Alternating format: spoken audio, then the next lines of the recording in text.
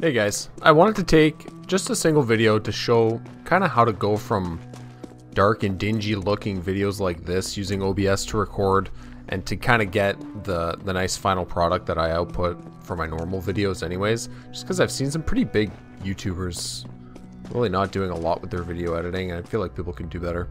So first to brighten up the picture when you're using OBS, go into the filters menu um, for your display capture and add a new filter for the color key. And then just increase your gamma up to, I like to use about um, 45, but you can adjust it depending on the kind of content you're getting. So this is how it brightens up to about 40. This is 45 uh, gamma color. So I'll show the two side by side. So you can kind of see it just brightens up the whole picture and makes it, in my opinion, a lot better to look at, especially for CSGO. If you're going for like that dark kind of content, then maybe you do um, want to keep the gamma low. Like in Valorant, you could probably get away with it just because there's more contrast and it's a brighter looking game in general. Um, another thing to make sure you're doing is make sure you're running OBS in administrator mode because if you're not, your recordings are going to look choppy and laggy. So next, let's change the quality. And when you're recording, you always want to use the CQP or the constant quality preset. Um, you can set the quality preset to speed, quality, or balance, and we would go through those later. And for me, at a, when I record at 1440p, I find a good CQP number to be about 24. You would never use CBR when recording, like a constant bitrate. That's what you would use for streaming because that's you're telling your computer always or never go above this bitrate for recording because when you're streaming, you're limited by your upload, right?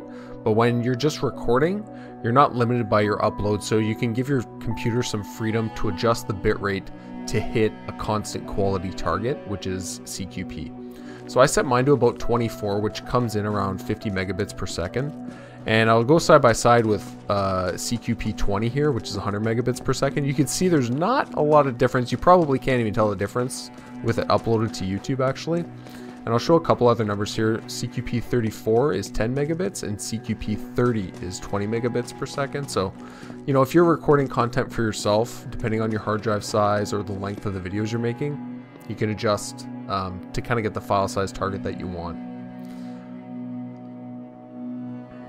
Another thing to adjust is this quality preset, and it really doesn't doesn't make a huge difference. I'll show them side by side here. In my opinion, they look pretty similar. And performance wise on a computer, like on my computer, I didn't notice much difference. I'm using my video card to record this. Maybe if you're using, maybe if you have a lower end video card, it'll, it'll uh, make a difference for you. And lastly, the downscale filter is what I'm going to go over. So Lan Lanczos or Lanczos is the highest quality filter, and then bilinear is the lowest quality filter. This probably isn't going to impact me because I'm not rescaling my footage. Um, but if you're going from 1440p to 1080, um, then you may see benefits on using the faster filter, right? Or you may see higher quality by using Lanczos. Next, I'll show the just the little touch-ups that I do in OBS. So what I do for OBS is I always sharpen it uh, just a little bit, like 0.1 sharpening, you know, in uh, sorry in uh, Sony Vegas, and then I'll always use an unsharp mask as well. And the unsharp mask settings are right there if you want to copy those or if you use Sony Vegas. And you can see on the left is my Sony Vegas sharpened with my sharpening and my unsharp mask. And then on the right is just stock OBS.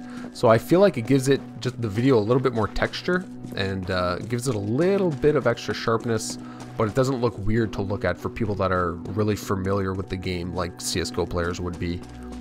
Um, you can sharpen up a little bit more and it can kind of give you a unique look if you're going for something artsy maybe. Um, but for everyday content or, or something, I would never mess around with too high levels in the sharpening. And then last, I'll just go over the, my export settings for uh, for Vegas. Um, basically, right there, you can see them all. So I export at 1440p. Um, you can allow the source to adjust the frame rate, but you you just want to make sure all your frame rate is hitting 60 FPS and everything everything you're recording and exporting to is 60 FPS.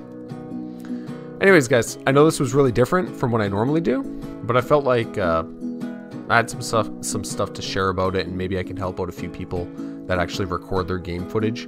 Um, if you enjoyed it, leave a thumbs up. If you didn't, leave a thumbs down. And I'll catch you next time. Peace.